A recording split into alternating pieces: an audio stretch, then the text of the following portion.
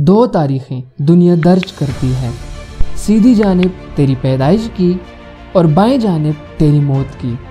लेकिन तीसरी तारीख तू खुद इस दुनिया में दर्ज कर सकता है।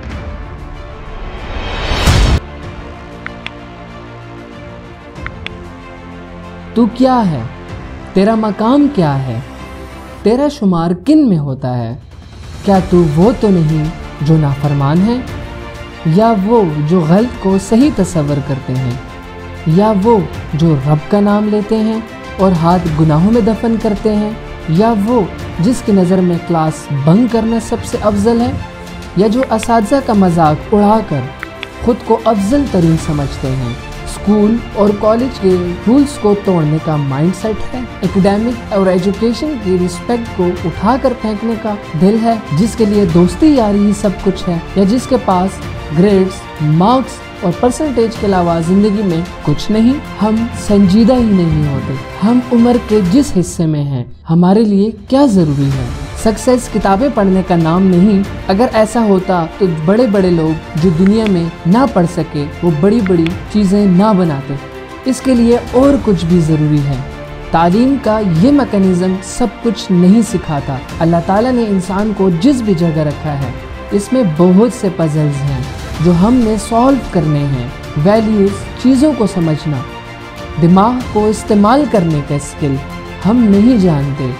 हम अपने दिमाग को बिल्ड ही नहीं कर रहे होते, जिसकी वजह से हम क्रिएटिव नहीं हैं इनोवेटिव नहीं हैं, दुनिया के इस जदीद तरीन दौर में। बताएँ आपकी क्या कंट्रीब्यूशन है? हर बंदा इस एहसास से बेखबर है। हम सब ग्रेजुएट होने के बाद एक डिफाइन ज़िंदगी गुजारना चाहते हैं। कोई स्किल्स इन्हेंसमेंट नहीं, कोई क्रिएटिविटी नहीं, कोई इनोवेशन नहीं, कोई एक्सपेरिमेंट नहीं, कोई आइडिया नहीं। ये किताबों के रटे डिग्री हासिल करने के लिए ठीक हैं, ये लोगों को खुश करने के लिए ठीक हैं। मगर वहाँ, जहाँ गीत बिकता है और चीज़ बनती है और चीज़ आगे जाती है, वो है तेरे अपने अंदर का आप।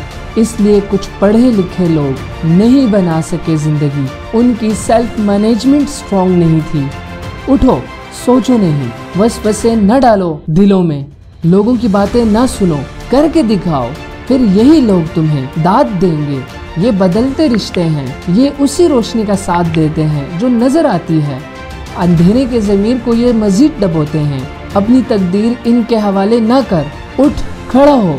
अल्लाह से मिल बालातर हो जा, अपने ज़मीर से कर गुजर, वो अमल, जिसके लिए अल्लाह ने तुझे भेजा था।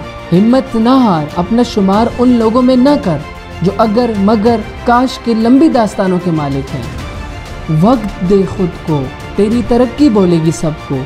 खुद को कम तर ना समझ मार दे डर के एहसास को, जिसको तूने बचपन से पाला है। अतात कर, ज़मीर बना, इज़्ज़त कर, उस्ताद के लोटे एहतरामन जिसने उठाए, फिर नहीं देखी नाकामी उसने। ज़रा सोच, तेरी मौत और पैदाइश की तारीखों के दरमियान तू कौन सी तारीख लिखेगा? अब फैसला तेरा। अगर आपको हमारे YouTube चैनल टीचिंग हाउस की वीडियो अच्छी लगी तो सब्सक्राइब और शेयर ज़रूर कीजिएगा। शुक्रिया।